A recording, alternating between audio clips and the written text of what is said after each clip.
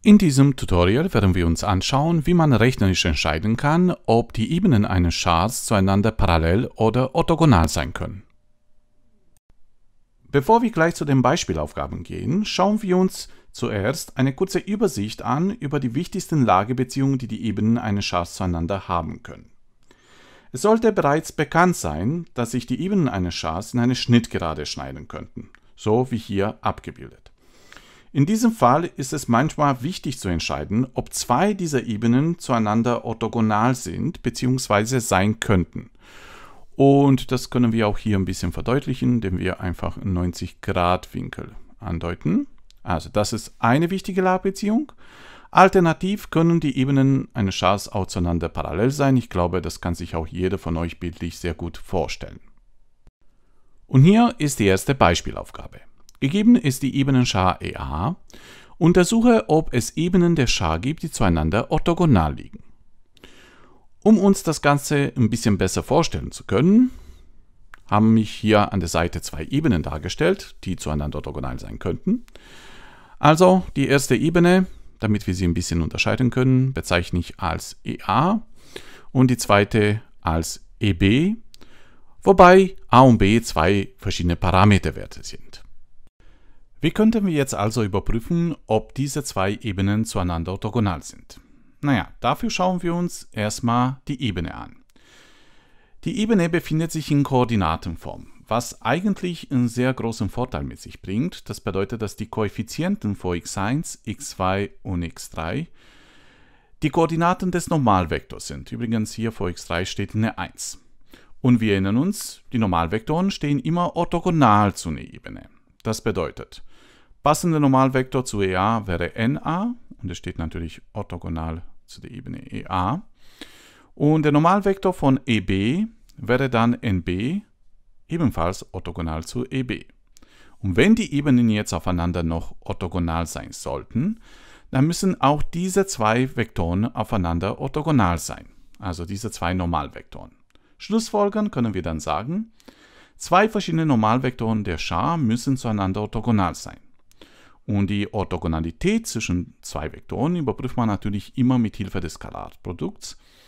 Das bedeutet, in diesem Fall hätte ich Vektor NA mal Vektor nb muss 0 sein. Also, wenn das Skalarprodukt zweier Vektoren 0 ist, dann sind sie aufeinander orthogonal.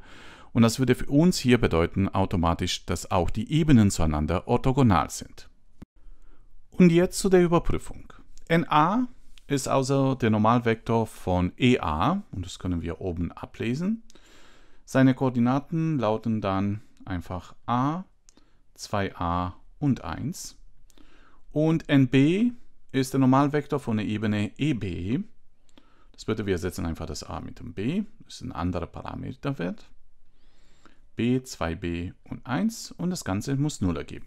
Natürlich unter der Voraussetzung, dass a und b verschiedene Parameterwerte sind, sonst macht das Ganze keinen Sinn.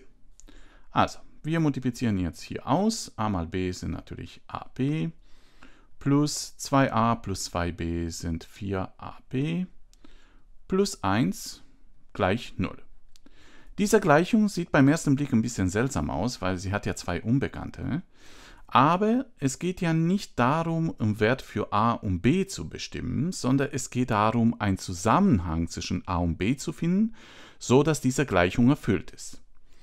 Das bedeutet für uns, wir fassen jetzt so weit wie möglich zusammen und wir formen nach einer dieser Parameter um. Also 1 AB plus 4AB sind natürlich 5AB plus 1 gleich 0. Dann die 1 rüber dann haben wir 5AB sind gleich minus 1. Und jetzt könnten wir entweder nach A oder nach B umformen, das ist völlig egal. Ich forme jetzt einfach nach A um, indem ich einfach durch 5b teile an dieser Stelle. Das bedeutet, a ist gleich minus 1 durch 5b. Und somit haben wir gezeigt, es gibt einen Zusammenhang zwischen a und b, der erfüllt sein muss. Und wenn das der Fall ist, sind die Ebenen aufeinander orthogonal. Ein kleiner Hinweis an dieser Stelle. b darf nicht 0 sein, weil es unter dem Bruchstrich steht. Und dann irgendwas geteilt durch 0 existiert natürlich nicht. Das ist die einzige Voraussetzung. Und wenn jetzt beispielsweise sogar zwei Ebenen gefragt werden, dann könntet ihr für b irgendeine Zahl einsetzen, beispielsweise 1, und dann hättet ihr automatisch für a minus ein Fünftel. Das wären dann schon zwei Parameterwerte, bei denen das Ganze zutreffen würde. Schlussfolgern können wir also sagen, wenn zwischen a und b eine Beziehung existiert, so dass die zwei Normalvektoren aufeinander orthogonal sind, sind automatisch auch die Ebenen aufeinander orthogonal. In unserer letzten Beispielaufgabe dreht sich das Ganze natürlich um die Parallelität. Gegeben ist die Ebenenschar EA, untersuche, ob es Ebenen der Schar gibt, die zueinander parallel liegen. Dafür stellen wir uns das Ganze wieder ein bisschen bildlich vor. Wir haben hier beispielsweise drei Ebenen zueinander parallel sind. Und als Hilfestellung benutzen wir natürlich wieder diesen Normalvektor. Ich deute ihn nochmal kurz hier an. Also a, 2a und 1. So, wenn Ebenen zueinander parallel sind, dann würden in diesem Fall die Normalvektoren so aussehen. Natürlich, alle Normalvektoren stehen orthogonal zu den jeweiligen Ebenen. Und wenn man ihre gegenseitige Lage so ein bisschen näher betrachtet, sollte man erkennen, dass sie Vielfache sein müssen. Und darum gehen sie uns auch. Wir wählen uns zwei beliebige Normalvektoren raus, in a und in b, und müssen überprüfen, ob sie Vielfache sein könnten. Also, zwei verschiedene Normalvektoren der Schar müssen Vielfache sein. Die Vielfachheit zweier Vektoren kann man wie folgt überprüfen. Man nimmt den ersten Vektor, in diesem Fall natürlich NA, mal irgendein Faktor und das Ganze muss den zweiten Vektor geben, NB. Übrigens nur am Rande, die Vielfachheit zweier Vektoren nennt man auch Kollinearität oder lineare Abhängigkeit, für den Fall, dass ihr das mal in Unterricht gehört habt.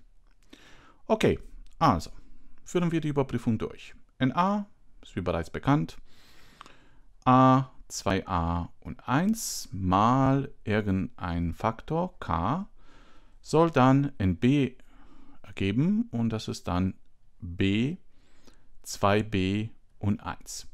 Und natürlich muss auch hier die Tatsache gelten, dass a und b unbedingt zwei verschiedene Parameterwerte sind.